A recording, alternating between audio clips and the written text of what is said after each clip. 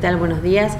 En parte de prensa del día de la fecha, del fin de semana, viernes y sábado, contamos con numerosos accidentes de tránsito en la ciudad. El primero de ellos que se registra el día viernes, 17.30 horas aproximadamente, en España el 9 de julio, cuando por causas que se están investigando, utilitario, un Peugeot Partner, que era conducido por Marcelo Ferriño, de 40 años, domiciliado aquí en la ciudad, colisiona con dos jóvenes que se desplazaban, uno de ellos a bordo de una motocicleta, una Yamaha Krypton, un menor de 16 años, que llevaba a su lado a otro menor de 16 también igual que él, a bordo de una bicicleta. Ambos iban tomados del brazo en estas circunstancias que son embestidos por este utilitario, resultando con lesiones en principio carácter leves el menor que conducía la bicicleta.